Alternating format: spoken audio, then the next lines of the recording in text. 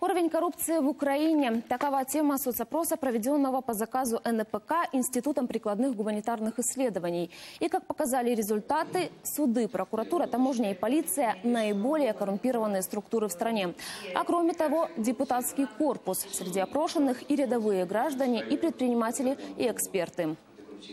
Україна зараз перебуває на такій стадії, коли тема корупції вже вийшла із сфери того, про що говорити, чи бояться, чи не можуть, чи не хочуть. 62% їм пропонувалися там ну, гречка, чи як це називається, така форма.